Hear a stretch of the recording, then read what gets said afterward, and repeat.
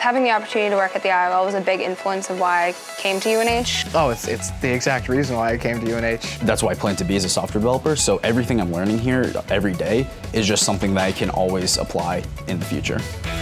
Interoperability is communication between different devices. We essentially test anything that you could put on the internet.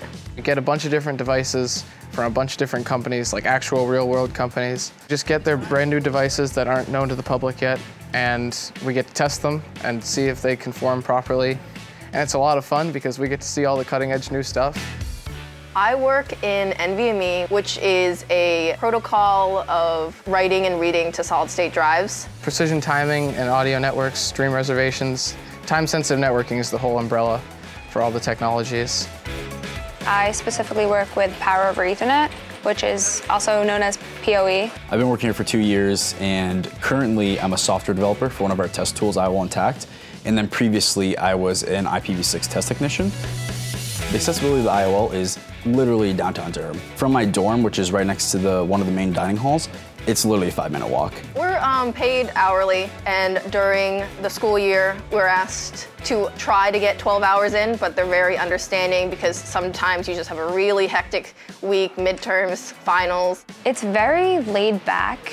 It's also very like easygoing. The majority are computer science, IT, electrical engineering, but anybody can apply, anybody can get hired. The equipment I use here at the IOL, like the oscilloscope, the multimeter, the power supply, I use directly in my lab courses. And I'm gaining the experience I need here and I'm transferring it into what I'm doing in the lab.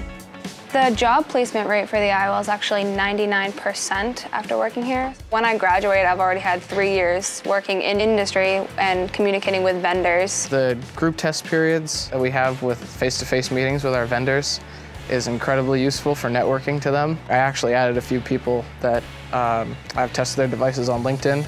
I'm a college freshman who could just talk to these seasoned professionals, and that's an incredible opportunity. Getting that experience here, I definitely like really boost my confidence. I really feel like when I go out into industry, like I'm 100% prepared. And then even what I don't know, I know I can learn.